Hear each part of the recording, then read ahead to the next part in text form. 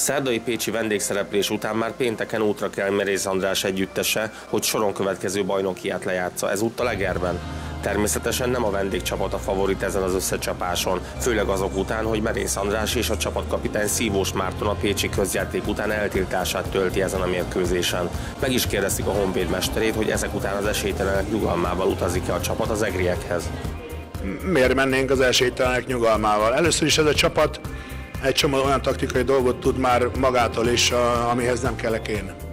Másodszor gondolom, hogy Steimez Barna fog meccselni, tud ő meccselni, egy, egy kicsit jó játékos volt, azt, azt gondolom, hogy ő tudja meccselni.